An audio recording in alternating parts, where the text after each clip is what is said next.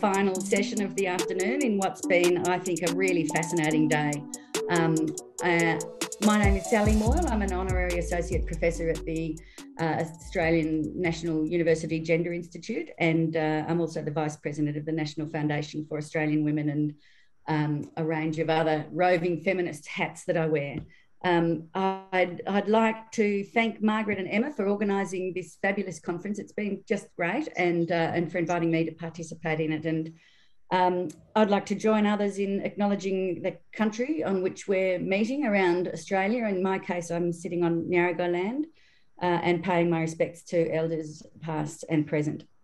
Uh, it's a really exciting panel, I think, this afternoon that we have with uh, a range of academics um, and government representatives who are able to talk to us about the future of work and where we're heading. Um, we've, we've spoken a lot today about the context for where Australian families are sitting in relation to their work and paid work and family obligations.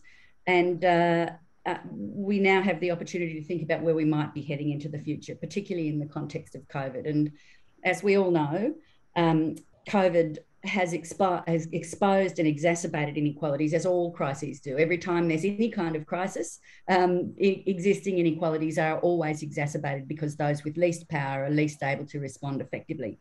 Um, but the COVID pandemic uh, is broader in its effects. It has walked into every part of our lives in terms of paid work, um, with access to employment, with access to, to unemployment benefits, to levels of employment and unemployment, and, and under particularly underemployment rates, um, as well as how paid work is done. And we've spoken a lot, of course, about how families are managing the working from home revolution and where it might. I'd be really interested to hear from our speakers this afternoon about where that might lead and whether we're planning to just snap back to the way it was, as our Prime Minister said early in the pandemic, or whether we might be able to think a bit bigger into the future. Uh, and of course, it's affected our caring roles for parents of school age kids and for preschool kids. It's been really difficult. And we've heard some of those discussions today about how difficult it has been. For parents of older kids, like myself, I've got a, a daughter in, at university in Sydney. Um, we've often spent a lot more time coaching our kids through some of the difficulties and helping them to learn resilience in this really trying time and for others of us it's been really it's really fractured our ability to care with people who have been separated from family members who for whom they have caring obligations and and how we manage that feeling about care. The notions of care that we face through the pandemic have been um, absolutely um, re rejigged if you like and of course the whole conversation we're having about vaccination or non-vaccination masks or no masks talks to us about how we feel about caring as a community as well and who cares for whom and who should care for whom. So I think that this pandemic has really exposed for us where our inequalities are. And it really does give us an opportunity to think about where we're going uh, with this. And as June Oscar said so presciently at the beginning of the day, care is what makes the world go around. It's not money, it is care. And that's really clear to us, I think, through this pandemic. Um, so do we just snap back to where we were do we just go back to the way things were but surely we've seen some glimmers of how we can do things differently and how can we pres- preserve these changes so that we can do things be- better into the future reduce inequalities and make uh, our communities our families and even our economy work better for us all if we've got greater um, equality so um, without further ado i'd just like to introduce first of all Mary Wooldridge. Um, she is the Honourable Mary Wooldridge, is the Director of the Workplace Gender Equality Agency. Um, Mary's been in that position since May last year, so I'm really keen to hear uh, from you, Mary, about where your new data that came out yesterday are up to. Um, and Mary builds on this position coming to us as a member of the Victorian Parliament for a long time, where she served as a minister in many of the portfolios, including mental health, family and community services, and women's portfolios. Um, we're really lucky to have you here today, as well as as the director of WGEA, Mary, and really um, looking forward to hearing what you have to say. So I'll pass over to you. Thank you. Wonderful. Thanks very much, Sally. Um, wonderful to be here with everyone today and with the, the panel. Very much looking forward to it. I'd also like to take the opportunity to acknowledge and pay my respects to the uh, elders from the many man, lands that we meet from around Australia. I come um, from Wurundjeri country in Melbourne. Um, and yeah, pay my respects to elders, uh, past, present, and emerging. Um, I thought I'd take the opportunity today, and um, Temi's going to help me with my uh, sharing my the screen, her screen um, with the presentation, uh, slides that I have today. But I wanted to take the opportunity, as you mentioned, to to share hot off the press um, the, the latest uh, parental leave information from uh, that we released yesterday uh, from our annual scorecard. Um, and uh, take everyone through that because while it's a specific slice in terms of where we're up to on the relationship between parenting and work, uh, I think it's very um, important in the context of, of the relationship between parenting and work and how that's viewed uh, both from, from parents and also um, from employers thought I'd take a minute first of all. Tell me if you can go to the next uh, slide, just for those of you who um, are less familiar with the Workplace Gender Equality Agency. Um, we're a federal statutory body. Um, our role is to promote and improve gender equality, and we do that by conducting an annual census of employers who have more than 100 or more staff um, and they uh, lodge information with us every year in relation to a range of gender equality indicators. Um, we then take that information and obviously use that um, in context, provide information to them in terms of how their individual companies are performing and, and their benchmarks and comparisons to industry and across the board. Um, we develop tools and resources uh, to help companies um, take action in relation to gender equality. And our latest uh, census covers 4.2 million non-public sector employees 11,000 employers. Um, and the good news is, is the federal government's committed to the federal public sector reporting, and now states and territories have also made an in-principle agreement to report as well, which will add um, somewhere close to um, about another 1.8 million employees, uh, meaning we're covering close to 60% of the workforce when um, when we include the public sectors as well. Next slide, thanks, Tammy. Tammy.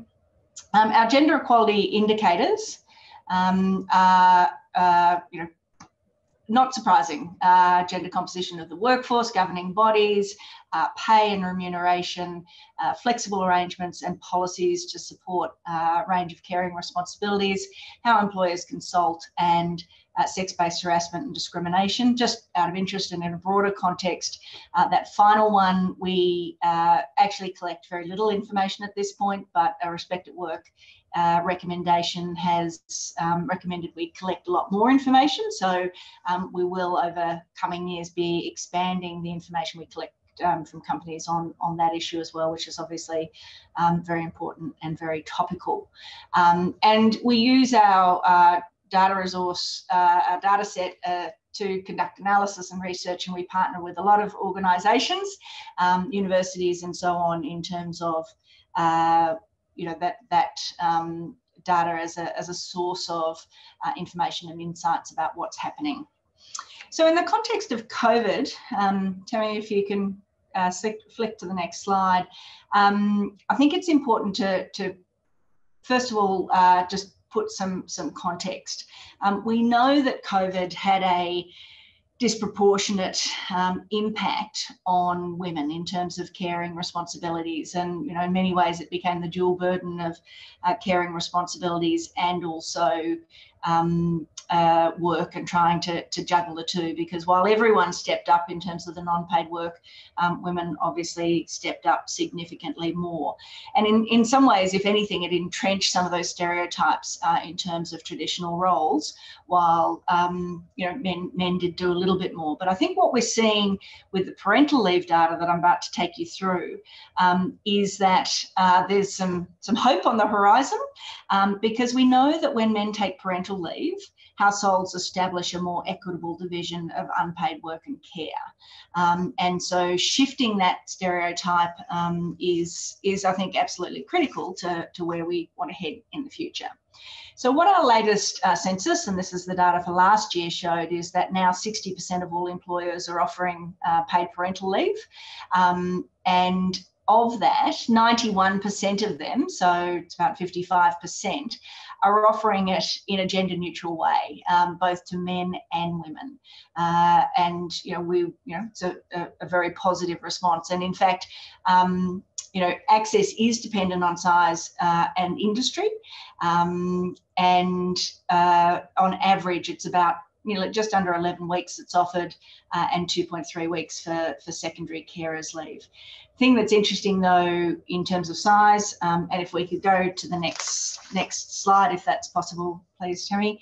Um, you can see here the size of the employer and whether they're likely to offer paid parental leave. So, in terms of reading the charts, and this also shows the shift over time, large companies with over 5,000 employees um, have, over the last eight years, uh, made an 8% increase, a 9% increase in terms of offering um, paid parental leave.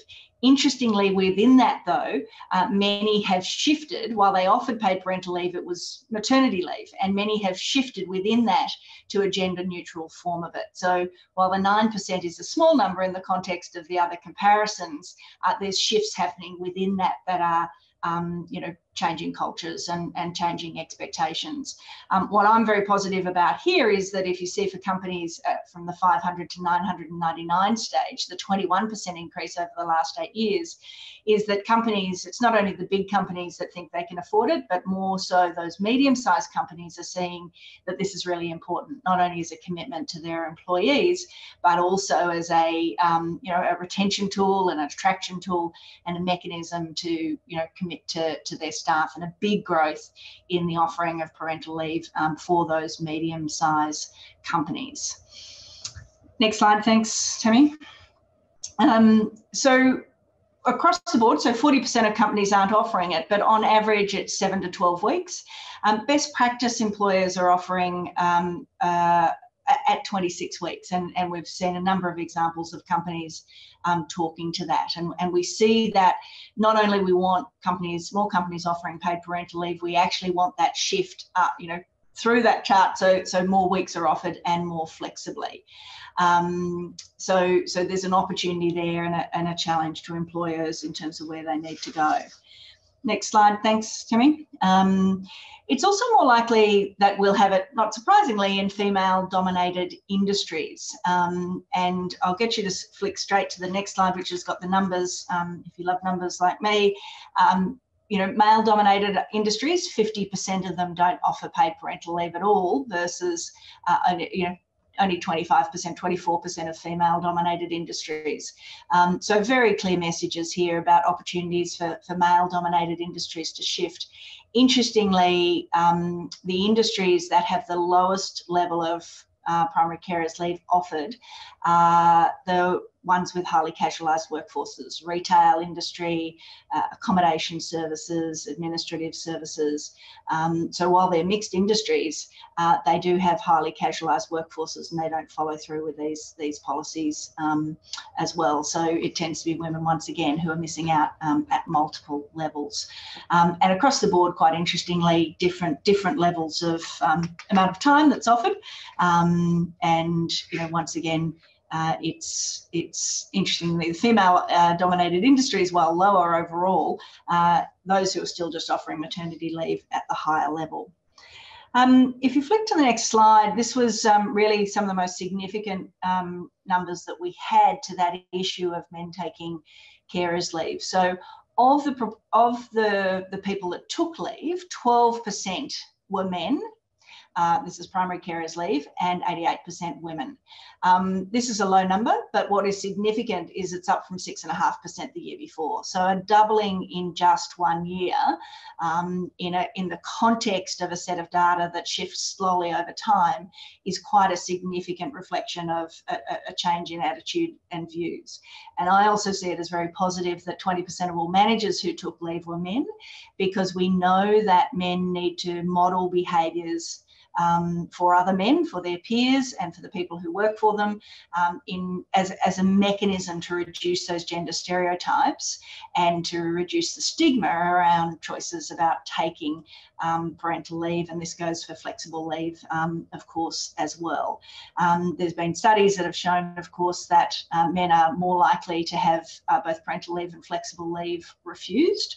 Um, and, you know, it's these sort of, you know, managers stepping up and, and it um, where we can actually uh, change attitudes and, uh, and, and the processes and policies and, that are put in place um, in relation to it. So big growth um, some some interesting leadership um, and real opportunity to shift attitudes and behaviours. And as I said at the beginning, the translation of men taking parental leave in terms of that mix of unpaid work and care in the home um, is quite significant um, in terms of how this sort of behaviour that we're seeing, you know, in these statistics will will translate in terms of the relationship uh, going forward. Thanks to the next slide. Um, we did ask companies, those 40% who don't have parental leave, why? Um, and about half of them say they think the government scheme is sufficient. Um, interestingly, some of those who pay parental leave actually just pay a top up between the government scheme and an individual's um, pay. So, you know, I, I see this interesting. While we'd obviously like a, a full-blown scheme, um, you know, we're advocating to companies that there's a way to into parental leave if you're not offering it, where you can start to put your toe in the water with perhaps you know paying the gap or paying some superannuation or whatever it might be um, as as a way to get into the scheme and then of course obviously expand over time. Only a small proportion are developing it and obviously you know insufficient resources expertise that's where we see we've got an opportunity to work with those companies to um, help them with that resources and expertise to to um, shift uh, shift their policies we can have the next slide. The other question that we asked for the first time um, is whether uh, superannuation is paid on uh, parental leave. And of course, we know that there's um, a big uh, gender superannuation gap, um, depending on whose numbers you believe, 20 percent, 30%, maybe even more. Um, and, you know, this is a reflection of time out of the workforce and uh, underpayment of women over an extended period of time um, through careers.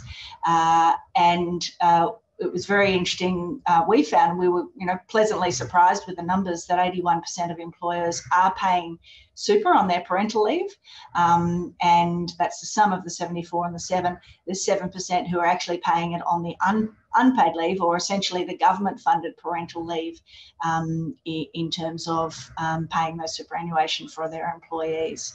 Um, so, so good number, you know, positive results. Once again, an opportunity for further advocacy. Those who aren't paying it, but also um, there's the opportunity to pay on unpaid leave um, to address the gap. Um, so just over to the last slide, if you can, can Tammy, thanks. Uh, oh, no, uh, that the super was the last slide. So the, the other thing I was just going to comment on is uh, flexible leave. Now we haven't released all our, our flexible leave data is coming out um, on Friday, so we're a little bit a, a, ahead.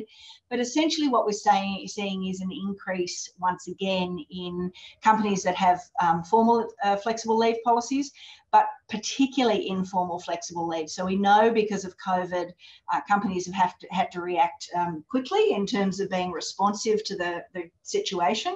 Um, many have uh, significantly enhanced flexible leave policies that are informally available. And they also report a very significant increase in approval of flexible um, leave policies um, that have been requested.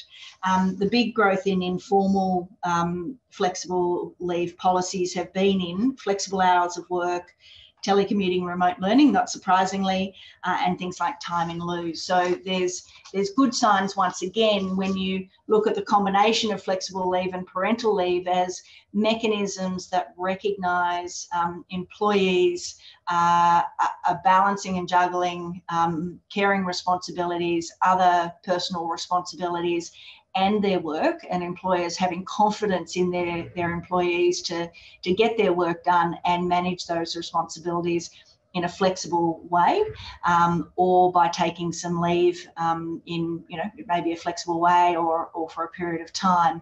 Um, there's there's good signs, I think, in terms of um, the outlook for, for what's to come. So I'll leave it there so we can hear from the other panelists, but I hope that some of that data would be um, very useful context for the conversation that we're having today.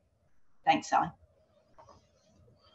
Thanks, Mary. That was a fabulous rocketing through of the uh, of the data. Um, I wonder if if there's a couple there's a, the question if, um, in the Q and A that relates to the specifics. We might just deal with that first, given that we do have some time. And I also have a question uh, just in that space. And the question is, um, I think your your your your data collection is calendar calendar year or financial year.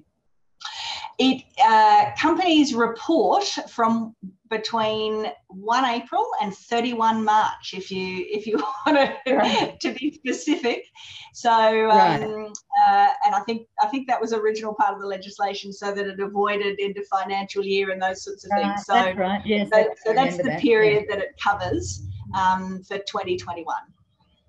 Right for 2021. So it was right. It was right through the middle of the lockdown and things. And so the I right. uh, can't wait to see the, the, data on Friday. But the increases in flexibility are they significant enough? Do you think that they really do reflect the, the changes around um, the COVID situation, or do you think a lot of that was done informally in addition to those formal requests?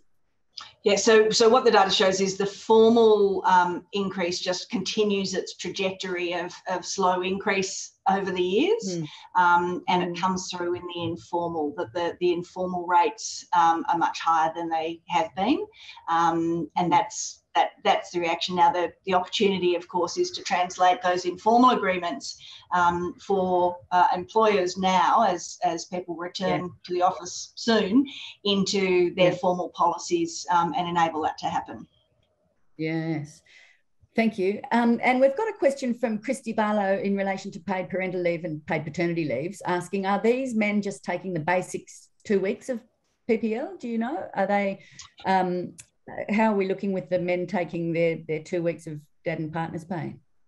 So um, this the, the data that I've presented relates to primary care. So with the average of 11 or just under 10.8 weeks. So this is the yeah. primary care leave. For secondary carers leave, and we, we advocate for the removal of a distinction between primary and secondary, um, as well as the removal between the distinction between um, men and women taking primary carers leave. So there's a, a a number of layers there. Um, secondary leave is, you know, 96, I think, from my memory, 96% of it is taken by men, um, and the average is about, you know, two and a half weeks. So um, the, the data on the 12% and the 20% of managers relates to primary care, which is why I think it's so positive. Yeah. Yeah, it is, isn't it? Yep. Okay, thank you. Um, we might move on to our next speaker then, and I'd, I'd like to introduce everybody to Cameron Roles. Cameron is a uh, senior lecturer in um, the ANU and is a labour law specialist. And I'd like to ask Cameron, would you like to talk to us for, tell us what your thoughts are about uh, how we can change the future of work to be more gender equal? Yeah, thank you so much, Sally. Um, and I just wanted to thank the organisers of the conference uh, for allowing me to speak on the panel. It's a great privilege to be here and to have this opportunity to speak to everybody. Um, well done, Mary. A, a, really good presentation and, and terrific energy. I'm aiming to replicate it. I know that this is the hard shift of the day when, or, well, it's perhaps not as hard as straight after lunch, um, but it's the second hardest shift of the day, I guess, when everybody's a bit tired and um, and coming towards the end of proceedings. So I'll do my best to, to keep this lively and and um, I'm really looking forward to uh, the questions and discussion that follow uh, once all panelists have finished. I'd just like to start by acknowledging the Ngunnawal and Ngambri people on whose lands the ANU uh, is situated and, and from where I'm speaking to you today. And I'd like to pay my respects to their elders past, present and emerging. I'd also just like to acknowledge that sovereignty to their land has never been ceded and that this was and always will be Aboriginal land. In this brief presentation, I'd like to address three aspects of work and parenting after COVID 19. The first one is the labour market, in my view, is experiencing once in a century changes which bring uh, oh, sorry, which both emphasise certain fault lines and issues which existed in the labour market prior to the pandemic, but also gives hope for a labour market which more works more effectively for both employees and at least some employees. And I'll come back and amplify that in a moment.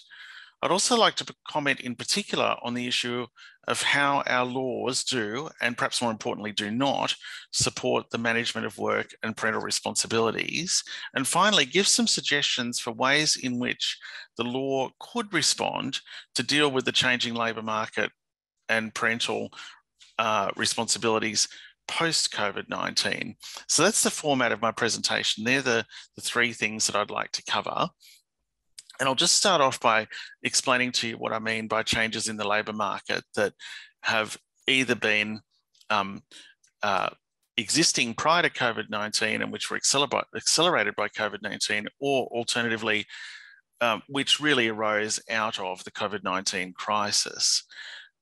So, the labour market, in my view, has changed quite profoundly during the pandemic. Um, and of course, the reasons for that are ones that we're all familiar with, and I'm not going to go through those. But these changes emphasised, in my view, existing issues in the labour market, things like precarious employment. So, what we mean by that is approximately one in four employees work as casuals, as well as who workers who work as independent contractors. And there's approximately one in every 10 Australian workers who works as an independent contractor. And this precarity means that workers in industries with high concentrations of precarious workers, and I'm thinking here about industries like hospitality, retail, etc. Um, these workers were hit extremely hard by COVID 19 lockdowns, and the subsequent recovery for them has been really slow. Okay, so if you think about um, uh, the local shops and, and restaurants and all and the like, you'll notice that a lot of those um, workers are only trickling back into those industries. Um, prior to the pandemic, major disruptors to work, in my view, involved things like automation. Of course, precariousness was a, a factor. Um, and of course, things like international supply uh, chains and trade links were also um, a very big factor. So things like the just-in-time supply chain model have all come to um, you know, in many ways depend on. Now, interesting research conducted by private consultancy, McKinsey, highlights the fact that jobs which were which required people working in close physical proximity to each other were the most disrupted during the pandemic. So things like medical care, personal care, nails and hairdressers and uh, customer facing and service roles, things like retail, hospitality, and of course the travel industry. If you think about airlines and what happened to airlines during the pandemic. By contrast, work which could be performed um, uh, primarily in the home was the least disrupted during the pandemic. Now, worldwide, approximately a third of workers in developed economies fit within that second category, the work that can be performed at home. We're talking largely office work, computer work, things like that. Um, and that sector, that, that work that can be performed at home, that white collar work, is by far the largest employer grouping in developing in developed economies.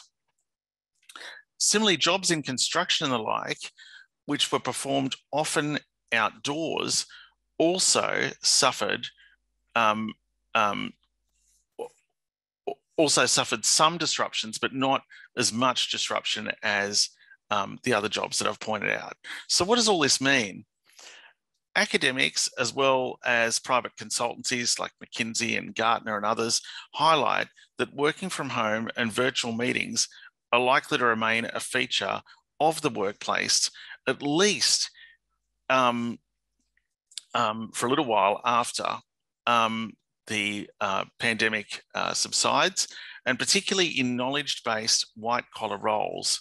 And some have predicted that we could see four to four, four to five times the level of remote work after the pandemic has dissipated than what we saw prior to the pandemic. So that's a huge shift if that turns out to be true, that'll be a huge shift. Now, of course, um, it's difficult to make any predictions during COVID 19, isn't it? I mean, we've got a, a situation where, you know, pretty much um, any prediction that anybody cares to make in relation to the pandemic tends to um, not quite work out as people would would think. So, you know, I don't think it's a, a, given that that working from home or working remotely is going to increase four to five times when compared to pre-pandemic levels. But certainly, attitudes from major corporates and the like seems to suggest that there will be much greater work from home or work remotely than um, than ever occurred prior to the pandemic.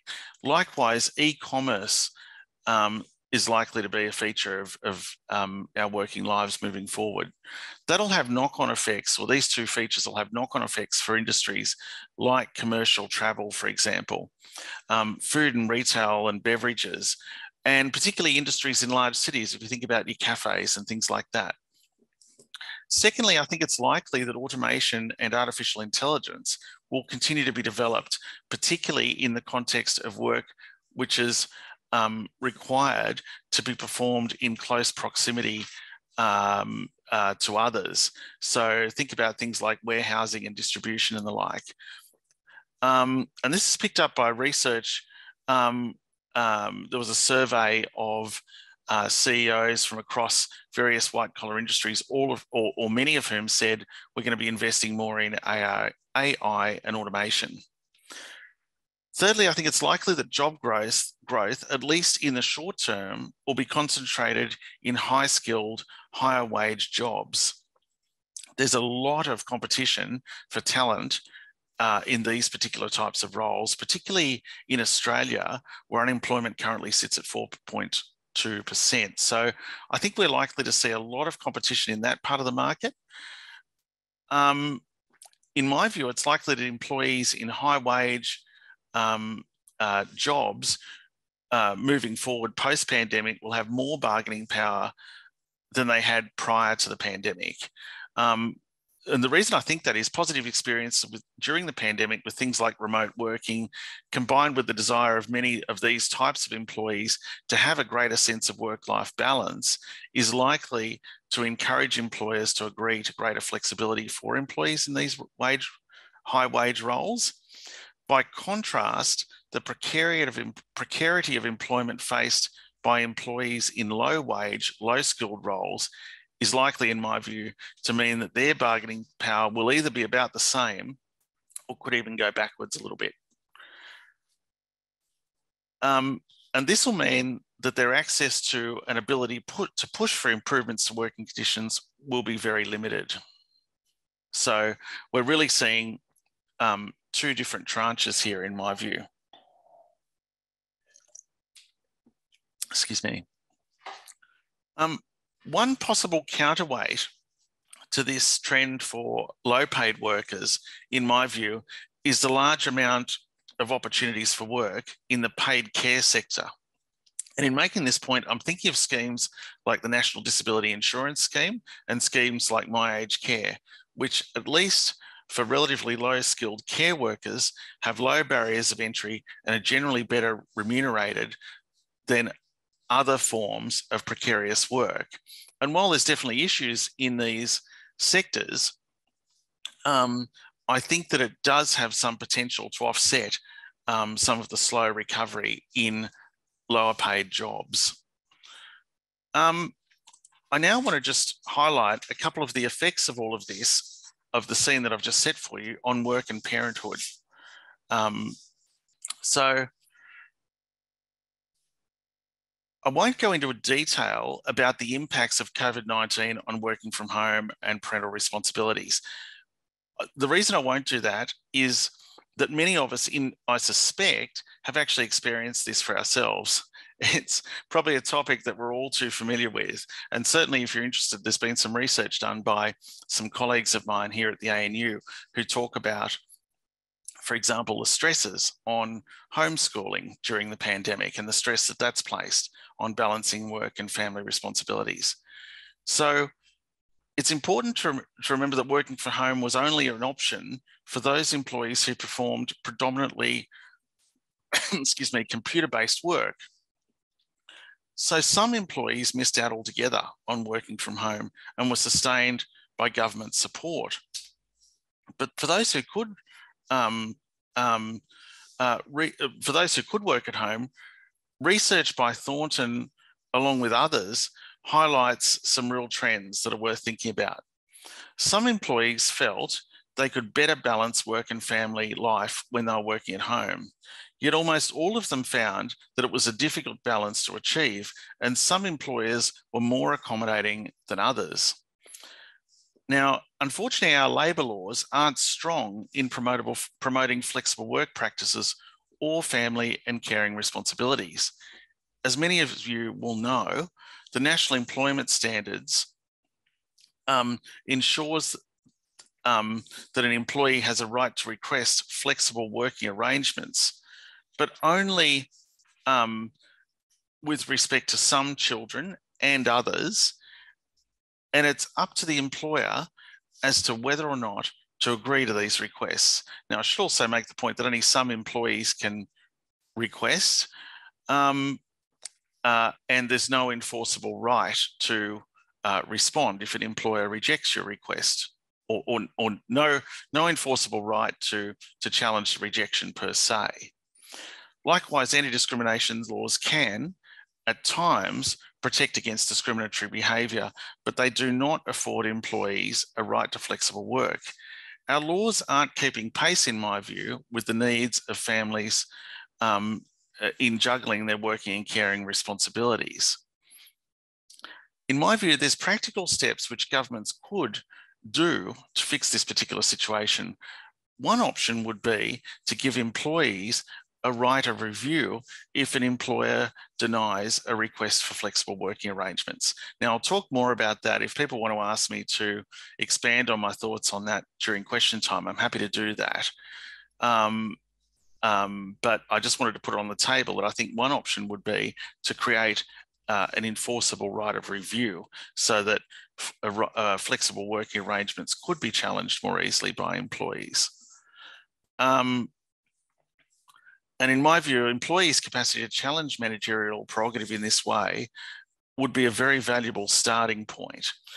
There's also other areas in which the law could do more to assist employees juggling work and family responsibilities. Giving workers greater job and financial security would help alleviate, um, in my view, um, some of the problems that's posed by precarious employment or precarious work. Um, uh, we know, of course, that um, the precarious employees bore the, bore the scourge of job losses during the pandemic, and we know that governments had to step in to effectively prop up their income so that employees weren't coming to work when they were sick. And so um, some reform in this area would be incredibly valuable. Unfortunately, recent amendments to the Fair Work Act concerning casual employees have continued to entrench the notion of the long-term casual.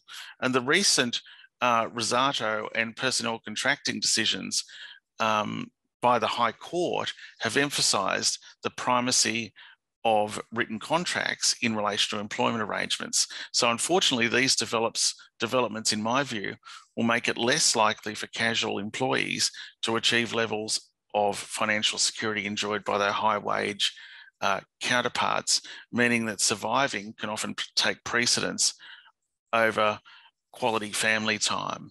So in closing, it's my view that it would be desirable for the law to respond positively to the desire of both employers and employees to achieve greater flexibility. And although both employers and employees want this flexibility, they want it for different reasons.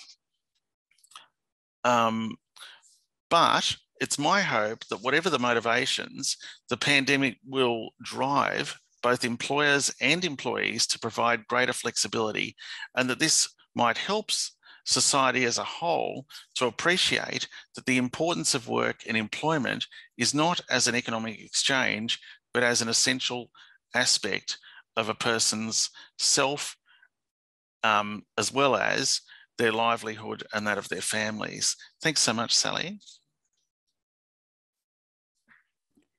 Fabulous. Thanks, Cam. And thanks for a couple of um, very practical suggestions for how we can go forward with this. I mean, change is always hard, but there's some, you know, sometimes small steps are the first, uh, as, as a first step, are, are, really important. So thank you for that. That's okay. Um, we might we might move straight on to um, hear from Ariadne Vromen now. Um, and it's great to have Ariadne here because Ariadne is a professor at um, the Crawford School and uh, has actually got an ARC Discovery grant focusing particularly on the future of work. So uh, we'd love, I can't wait to hear from you, Ariadne. Thanks, over to you. Thank you, Sally. And I will share my screen. Hopefully it works. Okay, so thanks for that intro, Sally. I will try and be quick and hopefully quicker than the quicker than 10 minutes as well. Uh, when we were asked to speak on this panel, I thought, and it was about the future of work, I thought it was probably easiest to speak about a current project I'm working on. We're about halfway through this linkage project on designing gender equality into the future of work. And I'm working with some colleagues at the University of Sydney and here at ANU. And what I want to do is just have a bit of a quick snapshot about surveys that we ran in September, October of last year when uh, New South Wales, Victoria and ACT were all under lockdown.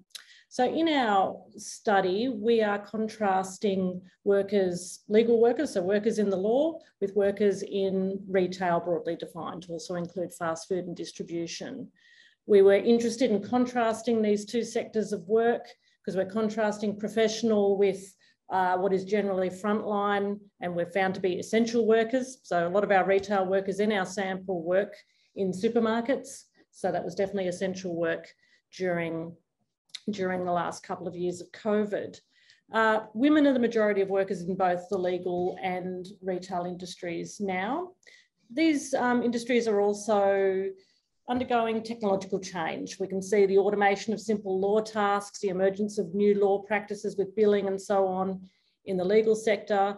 And in retail, there's uh, quite a significant shift around technological change, automation um, through on, well, automation within picking and in warehouses, as well as the use of technology within retail stores and obviously the growth of online shopping. I know I did way too much online shopping when I was um, in lockdown in Sydney, a habit I'm hoping that I'm starting to break. But in these industries, human work is still core. And we really sort of saw that within the crisis in supply debates over Christmas and January to, to the rapid spread of Omicron. So there was a real debate about what it meant to be a worker, uh, particularly in retail and in, in supply. But the other contrast worth making is that during the lockdowns, lawyers were able to work overwhelmingly from home, as Cameron was talking about, whereas very few workers in retail had the luxury of working from home. A lot of them were on front on the front line, also um, or working in warehouses, so we're also at risk of um, catching COVID as well. But I've mainly been working so far on analysing our retail data, but because I was invited to speak at a um, College of Law talk today, I've gone back and looked at some of our data on, on lawyers too. Um, yeah, and now I'll actually move to the right mode. Uh, so our lawyers were um, a majority women, 58% were women. On average, um, they were an older sample. They're sort of in their kind of 40s, which is probably older than typical members of the New South Wales Law Society who tend to be a little bit younger. But what we found, we asked them about how remote work and hybrid work was affecting them during the pandemic. And you can see that a majority agreed that their workload intensified and also that their working hours increased while they were working in the hybrid mode. And women were more likely than men, significantly more likely than men to say that their working hours and there'd been an intensification of their workload. In terms of their interactions with clients and colleagues, we asked them if um, remote or hybrid work had actually improved their interactions with their clients and their colleagues. Um, we can see that 47% disagreed that um, they had improved interactions and 62% strongly disagreed that their interactions with um, their colleagues were improved by working from home. So clearly that had an effect on the nature of their work, both with their working in teams, with colleagues, but also working with clients. But here we find very little difference between male and female lawyers. We asked similar questions of the change, changes in work of our retail workers. Retail is a significant um, proportion of the Australian workforce, at least 11%. Um, both Cameron and Mary in their talks have talked about retail workers. We've also um, alluded to them earlier today in that they're quite particular. It's a highly casualised sector of the workforce. In our sample, 38% were um, casual and didn't have access to sort of uh, to predominantly to sick leave and paid annual leave. And that compares to about 23% national, nationally of workers who are casual. Again, it's a 61% women, but also quite a significant proportion of workers in retail are under 30. And, and generally, we were seeing them being classified throughout the pandemic as being essential workers who were at the, at the front line. So we asked our retail workers a series of questions about how they were affected and their working conditions were affected during the pandemic. So we found that nearly a majority had either lost hours or had felt a decrease in the security of their job.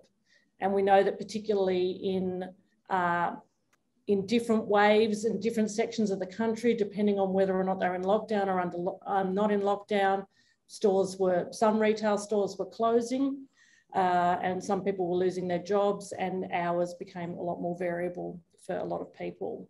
We also see that there's a difference here in that women were experiencing more insecurity and losing hours than male workers. Uh, we also were interested about the kind of mental health and stress-based effects of what was happening during the pandemic. Uh, retail workers were at the forefront of asking people to do check-ins into stores, to policing the wearing of masks, uh, and that sort of engagement at first hand with customers. And we found that 61% agreed that this was stressful for them, enforcing that kind of COVID 19 compliance during the pandemic. We also saw that a majority uh, felt an increase in customer abuse during the time as well. And there were quite a few headline stories about these, um, these kinds of interactions that people in, in a lot of shops were facing. And again, women were significantly more likely than men to experience uh, this kind of um, stress at, in their, within their workplaces. But what's kind of important is I've been doing more analysis with this particular data. And while we see these clear gender differences, it's actually a bit more about the nature of the workforce itself, in that those people who faced increasing economic insecurity, either through their actual work or through losing hours, um, it was much more likely to be affected by whether or not they were casual workers and whether or not they were living in a state under lockdown than um, their gender background alone. Whereas the stress from enforcing COVID compliance and particularly customer abuse were much more significantly felt by those workers on the front line and by, and by women. We also found in, the, in this analysis that retail workers aged over 50 were significantly less likely to be affected by any of these changes in working conditions during the pandemic. So this is something that a very particular workforce, young, women, casual. But I also dug into our data a bit more and we'd asked people about caring responsibilities at work, since that's the topic of what we're looking at today. Uh, and the majority of our um, sample of lawyers had caring responsibilities broadly defined. This can include both um, caring for children, but also for um, other um, dependents, such as adults and in your household and parents and so on. Uh, whereas a lot less of our retail workers um, have caring responsibilities. So again, probably because it's a younger um, workforce in general. Um, but we were also interested in asking them about how they felt about the um, opportunities that are given to people with caring responsibilities within their industry. And you can see in the chart on the left that a majority of both male and female lawyers uh, agree that those with caring responsibility, uh, sorry, disagree that those with caring responsibilities are given the same opportunities at work, but women are much more likely to, um, to see this as a problem. Uh, whereas when we contrast this different kind of question, not measuring exactly the same thing, but tailored to the industry, when we ask retail workers about um, whether or not workers with caring responsibilities are given access to secure and stable rosters that suit their needs. Uh, we find that most people agree that they are and that there are no gender differences. And so part of what thinking about this is kind of interesting in the kind of generational change that is possibly going on, that contrast between how we understand um, the intersection of care and responsibilities and work in different, different jobs. So most lawyers are working full time and they're working full time and trying to manage their caring responsibilities and also their career aspirations. Whereas the vast majority of our retail workers are casual or part time because they're already doing that balancing work between their caring responsibilities and their paid work and the way that they that they manage that. All right, and I think I've just got one more slide. So part of thinking about all of this was to get us to think about well, why does this matter to thinking about the future of work what the pandemic is a very significant moment and i guess in a lot of people's lives but particularly in the lives of younger workers has shown that health, stress, economic security, and gendered care work are all intertwined. And we need to, need to kind of think about the future policies around recognising all of those factors in the nature of work. We also need to be wary of generalising to all women workers as a homogenous whole. Instead, I've tried to just break it down by contrasting two very different sectors of work. But it's also getting us to focus on change that's happening within work, the industrial organisation and technological context that are making work look different for a new generation of workers and also moving into the future. So we need to be thinking about both precarity and work intensification at the same time and thinking about the impact that's having on the lives of workers. We also need to be thinking about how those who have complex care and responsibilities are supported within work or how their planning for their future planning for future care and responsibilities is integrated into their workplace. So, I guess my normative bit at the end is that good jobs that have fair and secure futures have a, are good for society. They have an equalising social effect and are, um, are broadly um, something we need to, I guess, bring much more deliberately into our conversation, as Lyndall Strazdins' em emphasised this morning as well. And I'll stop there. Thank you. Fabulous. Thank you, Ariadne. That was a really um, really useful conversation and a, a really quick gallop through some of the data. And as you say, women aren't a homogenous whole, and we need to constantly remind ourselves of that. Um, can we stop sharing your screen now? Yes. And, and as you do so, I will introduce us all to Martin here, who's just managed to join us um, after having navigated challenging work and family um, balances. So thanks, Martin, for really persevering with us and for, for getting yourself here for us. We're really very grateful. Uh, and we're also grateful that you were here at, at all, given your position. Um, we're really glad to have you here speaking to us as the um, Deputy Secretary for the um, uh, Industrial Relations Group at the Attorney General's Department. Uh, and speaking also as an economist, we're really looking forward to you to hearing from you for the last the last speaker of the day about how you see the future of work and what some of the lessons we might have learned from um, the pandemic might be, and how you see, I mean, how, how you where you see the opportunities for movement. I know that we're coming up to an election within the next couple of months, and so we can't ask you to be particularly specific about government commitments, of course, um, but your thoughts will be nevertheless really valuable. So over to you. Thank you. Uh, thanks, Sally. Can I just check that you can hear me properly? Yes, can do. Great. Um, so, uh, and my apologies for the settings. I'm actually sitting out in the park outside of the hospital where my son's um, having his knee operated on. So, I'm hoping everything stays live during this. Um, and thanks for the opportunity to come and talk. And um, you're right, the election's coming up. Um, and in a contested policy space, it's always an interesting thing to be talking about. But what I hope to be able to do is, is talk a little bit about the areas that we're that we'll be thinking about um, when it comes to the caretaker period? What are the things that we're going to try and draw out for an incoming government? Um, so let, us go back a bit though. Um, so the pandemic really shone a light on the pressures experienced by working parents, both those who had to work from home and care for their children at home, i.e. school-aged children, um, but also um, other uh, other um, carers in terms of those who weren't able to work from home had to keep being able to get to work um, often while they um, the children were either needing to be schooled um, or looked after in some way as well. What was really interesting from my perspective was we saw a really rapid shift in our working habits. It's not something that I've seen in my 30 odd years of work, a really, really quick change. Um, that, that need to keep things going really drove innovation very, very hard. Um, and so that was, in one way, really affirming to see that actually under pressure we can change things, we can look at things differently. But there was still a lot of pressure and a lot of issues with that change. We know that women were disproportionately impacted um, by the, the change, particularly um, in areas where there were lockdowns. Um, with the, the figures from the household impacts of COVID-19 survey from the ABS demonstrating that women were twice as, or nearly twice as likely as men to spend 20 more hours a week on unpaid caring and supervision of children. So about 28%, 28% compared to 15%. So what we saw was um, women in particular taking on the bulk of additional parenting, schooling and caring responsibilities throughout the pandemic.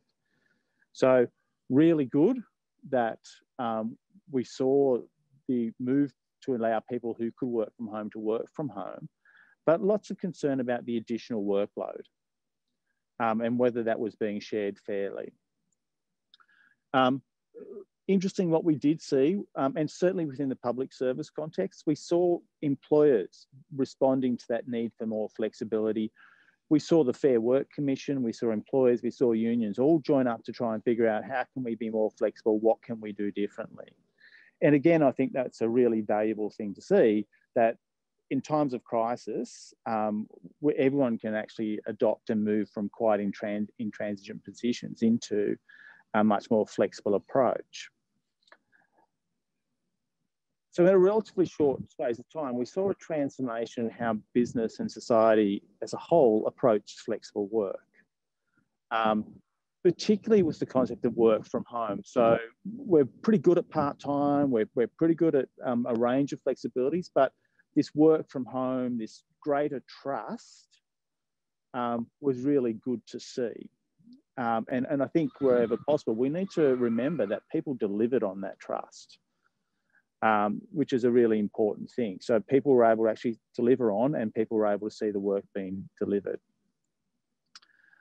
So that, that rapid transition with the use of digital technology, the growth in trust and, and the ability of people to, to deliver on that trust, I think were really important things to, to see coming out of that.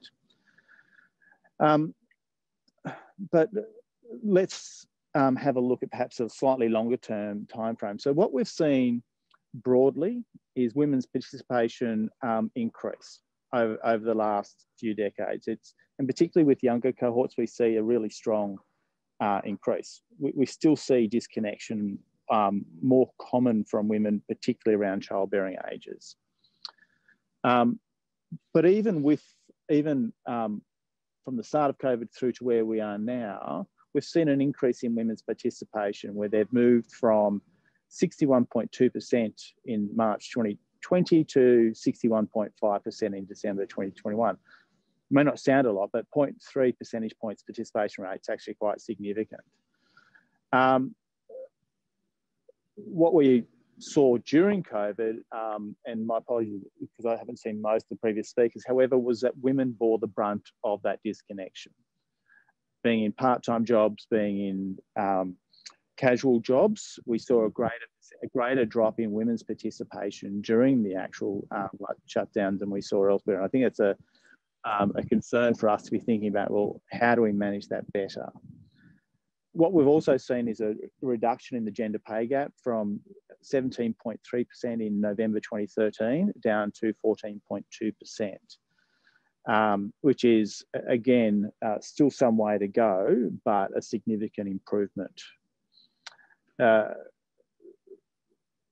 so from my so despite these gains there still remains persistent challenges to women occupying the workforce to the capacity of their choice and choice and um, empowers something i'll talk about a little bit later we're still concerned that women carry the majority of the burden of unpaid caregiving responsibilities at home.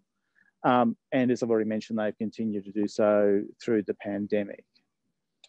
We know that for those aged uh, 20 to 74 years, employed women are almost three times more likely than men to be working part-time.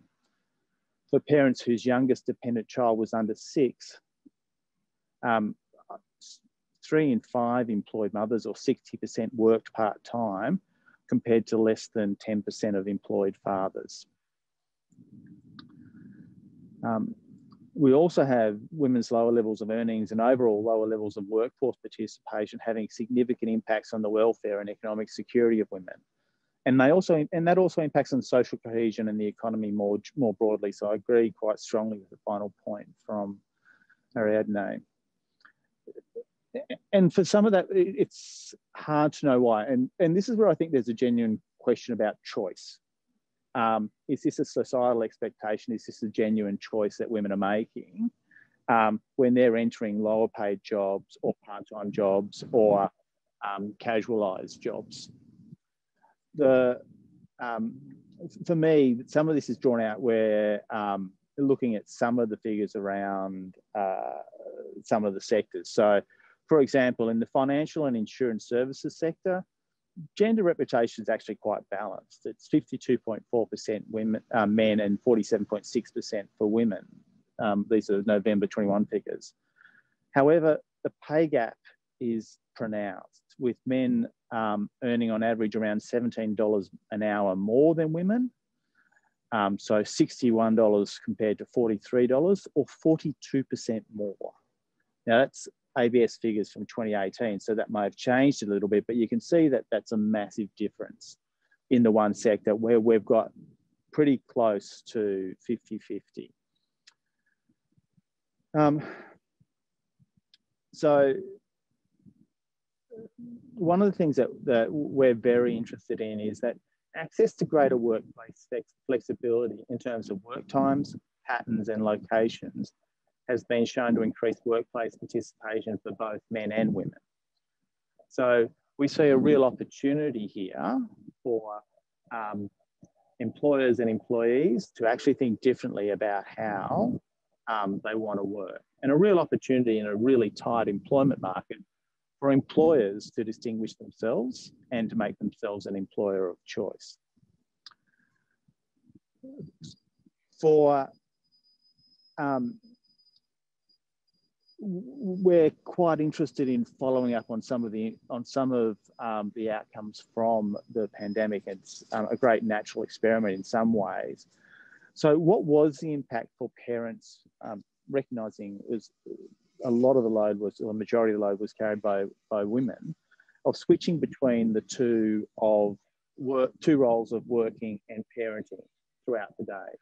Sometimes doing it concurrently, but often having to switch from one to the other or, or choose to work later into the day.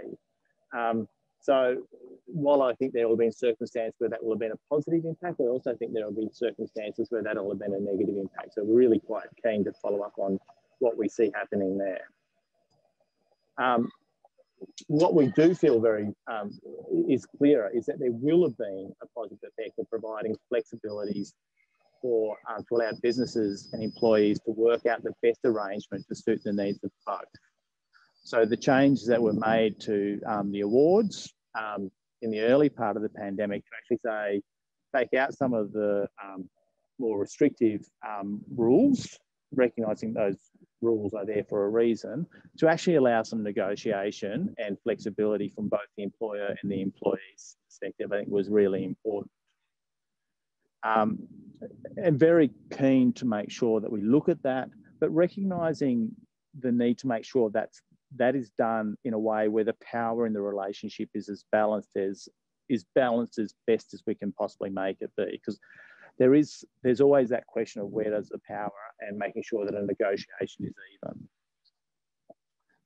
Um, so a really perhaps a, a nice example was um, KPMG and Deloitte expanded their flex policies to allow staff to work from anywhere. So including overseas. So to combine with a visit uh, to friends or families abroad, when travel is something that people are desperately wanting to do, this policy shift has um, the potential become quite a powerful staff retention tool. You know, you can go and see your family and spend an extended overseas and spend an extended period of time with them, but at the same time, you can keep connection to your job. Hopefully, you're also thinking about the important point of taking a job or a holiday as well, because that's equally important. Um, we know that employers and employees are still negotiating, experimenting, and adapting to see what works best for them. But we do know that women are more likely to face the challenge of working from home while parenting. So any policy settings will need to respond to these practices, issues, and also look at the opportunities that are emerging. So one of the things that I sort of work hard on my team is, you know, one of the um, important aspects of the industrial relations system really has to be seen to be about productivity. Um, and, and I certainly see an opportunity in the post-COVID world from what we've learned during COVID to improve productivity. So the when we talk about productive growth, we often talk about, um, you know, it is a key driver of economic growth. It leads to improvements in living standards. Um, but we are a little bit concerned that it's slowed in Australia as well as across the international um, uh, the international economy more broadly. So from our perspective, we do need to examine new approaches to improve sustained growth. And, and here we think we've got um, things that we can look at. We, we typically talk about um, productivity growth being improved through maintaining a stable macroeconomic um, environment, uh, improving capabilities, particularly through better technology, and having the right incentives in the economy, to, to name a few. But one of the areas we're very interested in is that productivity, productivity growth can also be improved by cooperative workplaces and flexible and responsive work arrangements. And in this context, flexible working practices can be achieved by employers and employees working better together. So working from home practices during the pandemic have brought the benefits of avoiding commutes, and for some, they, they may also assist in balancing parenting duties and work duties. However, some workers may feel less productive working from home than in an office environment. As we look to the future of work, business and employees will learn more about how to best utilise the flexibility of working from home effectively to increase productivity. So for me, that's a really um, uh, true reflection. So I know that um, my uh, my wife and myself we worked from the office during COVID. Um, she was in a, in a, a, health team, and I was um, uh, in the IR group, but most of my staff work from home, and a lot of my wife's staff work from home. So figuring out how that was productive for them, but we were able to be more productive in an office environment, sort of taught us both to think about, well, how do you balance and how do you make sure you're able to keep teams working in a remote environment? From an IR perspective, um, one of the key frameworks that upholds the employer-employee relationships is the Fair Work Act which regulates employment in Australia for up to 9 million people employed under the national system. The Act provides a safety net of minimum standards through the National Employment Standards, several of which comprise rights that promote gender equality, including the right to request flexible working arrangements and unpaid parental leave and um, related entitlements since 2018, we've seen some improvements um, in the policy settings to support and promote women's workforce participation. The Act's been amended to include five days unpaid family and domestic violence leave, improved access to unpaid parental leave for parenting, for parents experiencing the trauma of stillbirth, premature, premature birth or the death of the child within the first 24 months of life, um, flexible unpaid, unpaid parental leave, a statutory pathway for eligible casual employees to convert to permanent employment, um, strengthened anti-discrimination and industrial relations frameworks to address sexual harassment and other forms of sex discrimination in the workplace, um, and support for women who suffer a miscarriage by expanding the definition of permissible occasion in the compassionate leave provision to include miscarriage. However,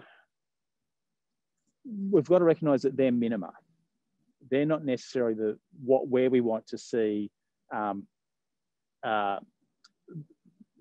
places for the majority of workers. We, we want to see improvement. So And we've got two main tools for that. We've actually got the, um, the, the award system, which is able to have standards um, above the national employment standards, notwithstanding they're also set a minimum, but also bargaining, bargain, so the enterprise bargaining framework.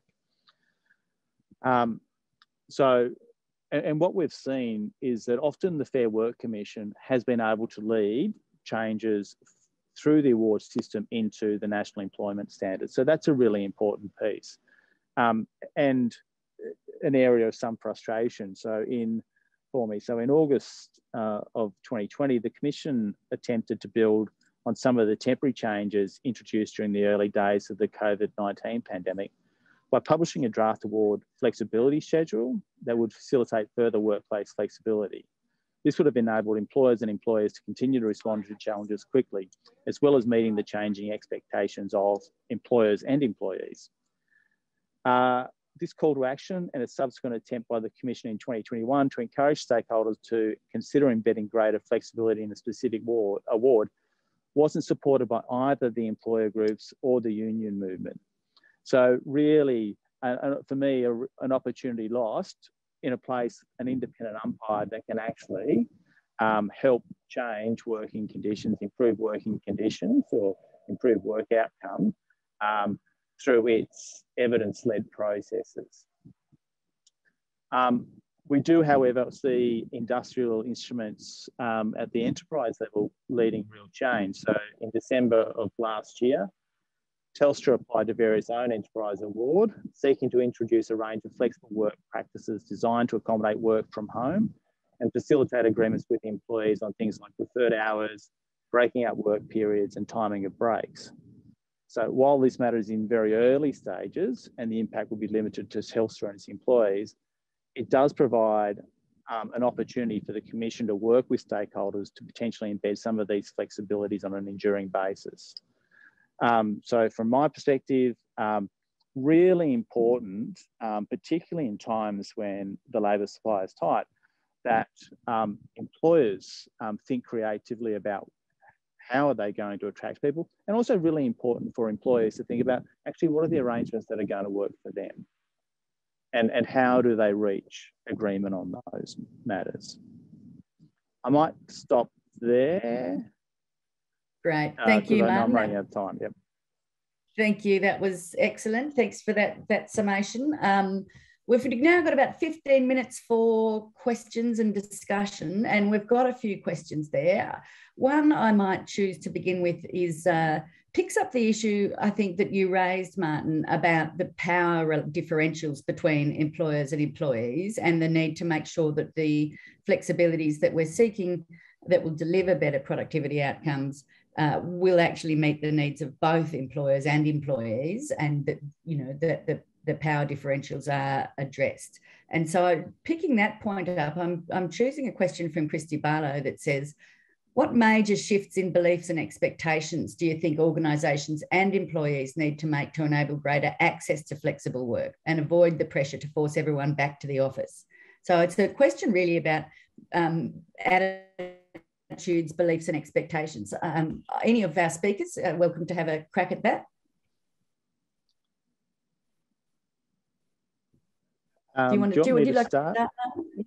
Yeah, why not? Yeah, look, look, look. I'm happy to. It, it's part of the reason I talked about trust, um, in that we we and and that we saw a really rapid and I think successful move to the work from home um, arrangements. There will still, I think, be um, uh, concern or uncertainty in employers' views, um, and, and that's a discussion um, I think lots of employers are having. But what I saw was um, uh, from my own team and the experience more broadly is that um, people delivered. People worked really hard um, and they produced the products that we need in the time that we needed them. And they, they learned different ways to um, build the teams um, that I think are necessary for, for um, good product to actually make sure they're able to engage. For me, I think it's really important that em employers don't lose that and employees are able to have the discussion with their boss about actually why is that, is that important. I think one of the real um, uh, strengths at the moment is what we're seeing um, is actually a greater um, level of movement between organisations. So employers are now having to fight to a- attract and retain good staff. Um, so uh, that doesn't happen um, always, but but now with um, you know levels of unemployment we haven't seen since 2008, levels of underemployment that again we haven't seen since 2008, and the movement between employers, um, employers moving between employers, actually starting to head back um, up towards the sort of 2007 and 2008 figures. Um, it's, a, it's a little bit more of an employees market to be able to influence. And I think that's really important in terms of embedding some of this, um, embedding that actually people can deliver a really good product. There's a piece there about, um, I think about Australian employers becoming better managers as well. Um, you know, one of the things that are, one of the pieces of information that we look at and, and, and try and do some work around is the Gallup poll, which actually said engagement in the US and um, Canada, etc., is about 24 or 25% employee engagement. In Australia, it's about 14%. Um, so you can see that um, actually there's there's things that we could do better in terms of how we get manage and engage with our staff. So I think there's real opportunity there.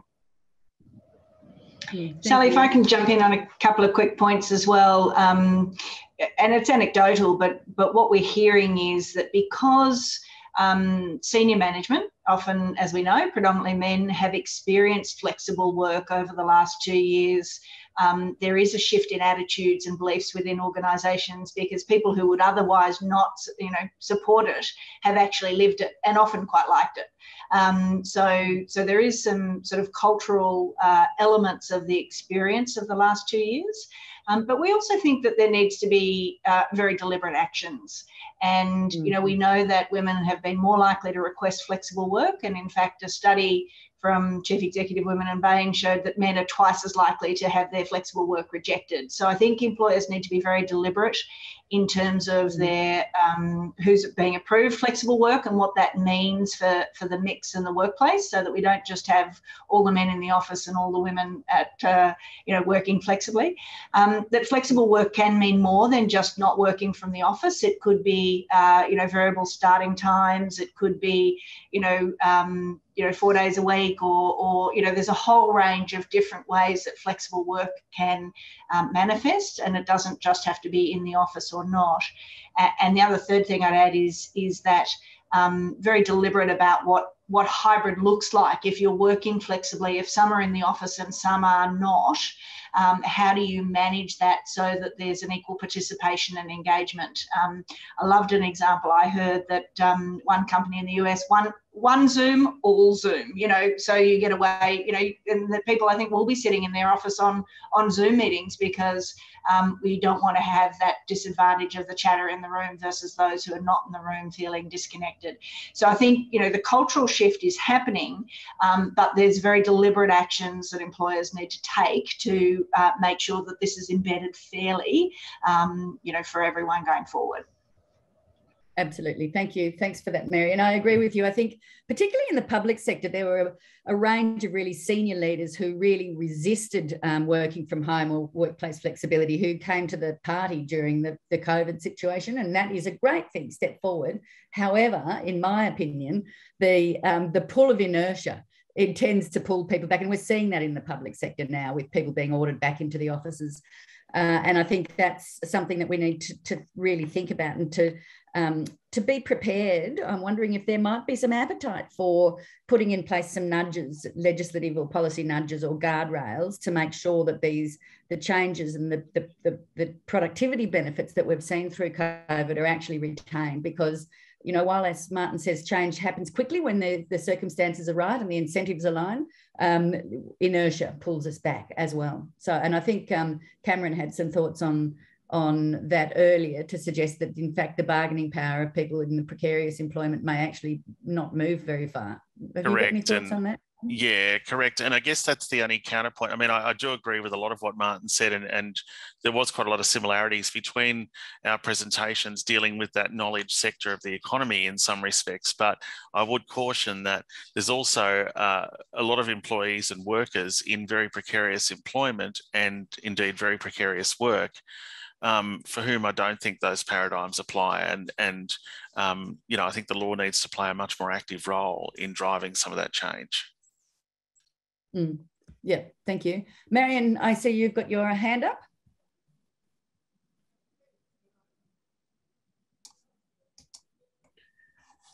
Yes, yes, very, very pleased to hear Mary talking about um, flexible work provisions and, and some of the risks involved. And I just wondered if she might talk a little bit more about um, what proportion of men are taking advantage of flexibility, including part-time work for caring purposes, you know, compared with uh, women. I mean, are these provisions gender stereotyped, you know, uh, as, as things that women take up so they can fulfill their disproportionate share of, of unpaid caring work?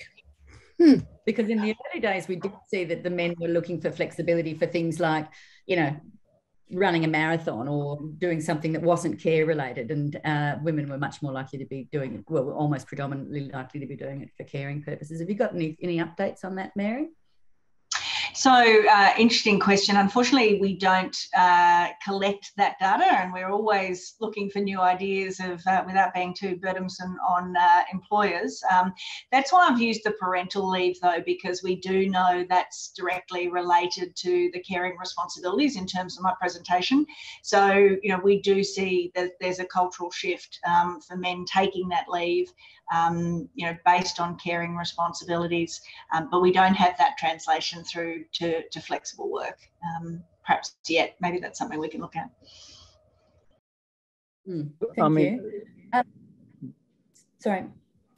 I was just going to say, so um, uh, in terms of um, of um, uh, flexible arrangements, part time is the one that we have that I've got figures for in, in front of me, and that's where we see 60% of um, employed mothers where the youngest dependent child was under six working part-time compared to less than one in 10 employed fathers. So, and uh, for 20 to 74 year old employed men were almost three times more likely than men to be working part-time, less for direct um, figure there about the care arrangement. But for me, the one that really stood out was that 60% compared to less than 10% where the youngest mm. child's less than six.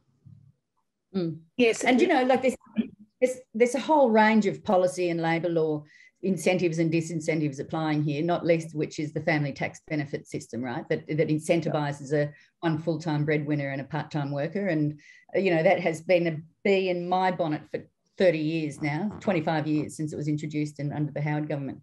Sorry, Marian.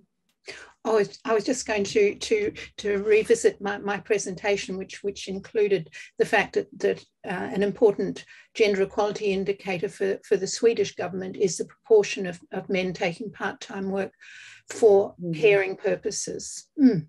Just as yes, an exactly. inspiration for us all. Mm. Exactly. Thank you. Um, now we have a question from uh, Emma. Um, I Emma can't put it into the into the uh, question and answer as a host, but I might hand over to you, Emma, to ask your question in relation to young parents. Uh, and and I mean, just for me to add my my framing around your question, I think that it would be around how do we make a generational change happen? How do we use particularly COVID to create generational changes for for younger workers and taking that through their reproductive years in particular? How do we how do we encourage them to think differently about this? Because we know they do to begin with, and then again, inertia kind of pulls them back into the traditional frame. But over to you, Emma. Yeah, thank you, Sally. Well, I suppose that's my question, but it's just really picking up on Ariadne's research and Cam's talking about precarious work. And I guess I feel worried about young parents um, facing precarity not only in work but in life in general. We know that they face greater sort of housing precariousness than their parents did, and I think young parents as well have other um, forms of vulnerability and need greater support. So I'm just wondering, how do we? Are there any ideas for how we might try to ensure a more secure working future for young parents? Yeah, I think that's a great um, comment, Emma, and I think it's a key discussion that we have to have. Even if we we look at what we were um, with retail workers and that there was a significant difference with older workers who are predominantly those workers in decision making roles not experiencing disadvantage during COVID. So they're not experiencing the pointy end of um, insecurity, let alone stress within doing their day to day work because they tend to be in back offices and probably were working from home. Um, so that contrast, I think it's really important that we hear the voices of younger workers in debates and that they're that their experience is brought in. I think you're really right to link everything to do with having a secure job, starting a family, getting independence from your parents, um, the capacity to buy a house, all of these markers of independence and adulthood are becoming further and further away for this generation of young people. And I think COVID has just um, exacerbated that, you know, and there won't be a bounce back necessarily for particular groups of young people who uh, continue to be in more precarious work. Mm, exactly. Now, look, we are unfortunately at time. I know that we've only just scratched the surface, and I think we could keep the conversation rolling for another hour if we had the time, but unfortunately, we don't. So, uh, are there any really quick final thoughts from any of our panelists before I hand us back to uh, Margaret? Or are you? I'm happy to add, add throw one in um, is just, uh, and it's sort of to that point, and a number of others is, you know, I think the tight labour market, and you know, other um, presenters have mentioned it too, is just a fabulous opportunity. Um, and you know, we know uh, people choose jobs on obviously the role and the pay, um, but there's also evidence they choose it on the policies and the practices, such as flexible work and parental leave. Um, and so I think, you know, in this time, there is a uh, you know, a small shift in power in relation to, to what can be determined and, and how companies need to respond um, and to get them to shift in terms of uh, their approach and their practices. So, you know, I think, um, you know, I, I, look from that side of things, there's, there's, I have some optimism in terms of, um, um you know, the, the power to influence and change policies going forward. Thank you. And so, look, I might draw us to a close. we've got a lot of questions outstanding, uh, very good questions. I hope some of them have been at least partly answered in the conversation. And I really just want to point us to Belinda Smith's final comment, where she said that she thinks it's really important. We do need to encourage more men to choose to work flexibly and part time to share in care. But unfortunately, under the current labour market, that means both parents are likely to be in precarious employment. So that's not a step forward for us, uh, even if it is towards parity. So I think, um, you know, for me, I, I, think we need to look at in thinking about the future of work. We need to look at both the labour market, and as you know, Lyndall suggested, there's quite a few recommendations from um, a new harvester case all the way through to thinking uh, more, more, about bringing the any national employment standards into um, lifting that that that that foundation. Um, drawing more more work from the awards system and the bargaining system into the national employment standards uh, but also thinking about the tax and transfer system. I think that's super important in order to create incentives and to give nudges and um, messages to families about how that the government and the society sees the priorities for care and work. And then also, of course, um, in thinking about just gender norms and campaigning, I think the government's really dropped the ball on that over the last 30 years. As Marian said to us earlier, she showed us the 1980s examples of, of the sort of work that government was willing to do in those days, and we don't seem to be willing to do it all anymore. So um, I think there's plenty of room for us to do stuff, and I'd love to see us move it forward in a in a in a, in a kind of whole package to address all of the different incentives and disincentives. Um, and with that, I'd, I'd, like to hand back to Margaret and say thank you all to our panel. It's been really interesting conversation, and uh, I hope that we can continue the, the momentum of this of this thinking. So thank you all.